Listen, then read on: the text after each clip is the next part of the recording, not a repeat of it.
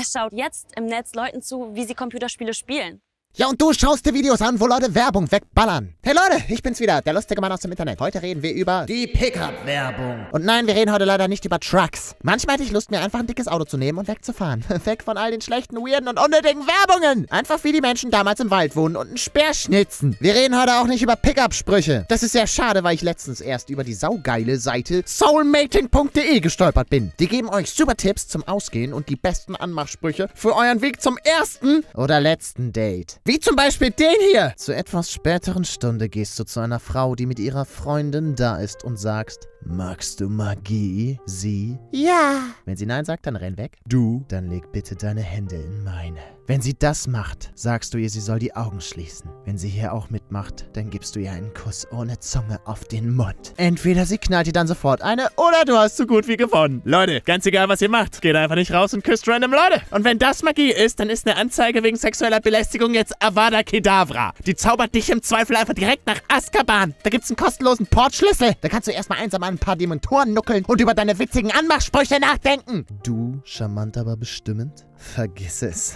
Ich bin nicht so einer. Sie? Hä? Wie meinst du das? Nun, erst erzählst du mir mindestens eins deiner Hobbys, bevor du mich verführen darfst. Jetzt mal ohne Witz. Wenn sowas funktioniert, dann lauft. Dann ist euer Gegenüber einfach nur ein Muggel. Der schwingt vielleicht einen Stab, aber vorne kommt nichts raus. Der denkt, Aloe Vera ist ein Zauberspruch zum Fliegen. Der denkt, das Kaffeesatzlesen von Professor Trelawney auf dem Boden der Tasse funktioniert für eine Buchstabensuppe. Nein, wir reden heute nicht über Magie, nicht über Anmachsprüche und schon gar nicht über Harry Potter. Eigentlich schade. Denn wir reden heute über Kekse. Aber bevor es hier endlich knackig cross knallt, muss ich euch super fast loben. YouTube macht echt Spaß, aber am geilsten ist es, wenn die Videos bei euch gut ankommen. Liken mit der WhatsApp-Gruppe aus dem Cayman S teilen und mal alternativ googeln. Das ist alles kostenlos und bringt mir mehr als ein grünes Monetarisierungssymbol auf YouTube. Also vielen Dank. Und jetzt, Pickup. Na, Schnitte schon belegt. Okay, tut mir leid. Ich weiß auch nicht, was mit mir heute los ist. Ich will gar kein Date, sondern nur irgendjemanden, der mich davon abhält, Herzprobleme zu kriegen. Leute, mein Herz schlägt so oft, ich habe überlegt, es beim Boxtraining anzumelden. Und warum? Weil Pickup mir damals Avengers Endgame gespoilert hat. Der hat einfach einen Typ in der Werbung Keks gefressen und gesagt, wer stirbt. Liebes Marketing-Team von Balzen. Warum? Was habe ich euch getan? Möge euch Thors Hammer auf die Nase fallen und Ant-Man in den Hintern kriechen. Ihr müsst euch vorstellen, die Werbung lief vor dem Film im Kino. Ich hatte nicht mal die Chance, nicht da zu sein oder nicht hinzuhören. Klar, ich kann mir die Augen zuhalten, aber IMAX bedeutet auch 2000 Dezibel Surround Sound in deine Fresse. Ich habe überlegt, mich kurz aus der Existenz zu schnipsen, als ich wimmernd vor der Leinwand lag. Also, nachdem Pickup erstmal 200 Sympathiepunkte bei mir deswegen eingebüßt hat, kam das Werbeorakel der Leibniz-Keks-Erfinder auf die Idee, mir jetzt auch noch online auf den Keks zu gehen. Haha. Keks, hm, versteht ihr, ne? Hm. Die hießen früher übrigens Leibniz Cakes, aber weil 1898 noch keiner Englisch sprechen konnte, hat sie quasi jeder Karkes ausgesprochen. Karkes. Das ist gefährlich nah am Nominativ für Verdauungsprodukte. Ich rede von Kacke, falls ihr das nicht verstanden habt. Deswegen wurden die irgendwann mal in Keks umbenannt. Die sind dafür verantwortlich, dass es das Wort Keks gibt, Leute. Das steht im Duden. Also, wir waren ja anfangs schon bei der guten Dame, die sich über Gronk aufgeregt hat. Es wäre ja wie ein Spot gucken, in dem jemand ein Pickup ist. Oder ein Video, wo irgendjemand sagt, dass ich mir im Internet anschauen kann, was ich will. Das ist das Schöne. Und wenn ich mir anschauen will, wie jemand Pickup-Werbung in den Restmüll mörsert, ist das meine emanzipierte Entscheidung. Und ja, Pickup-Beißen ist laut. Aber wirklich so laut. Das klingt, als hätten die in Tschernobyl auf den falschen Knopf gedrückt. Wäre beknackt, ne? Beknackt, weil es knackig ist. das ist halt einfach ein Dead-Joke.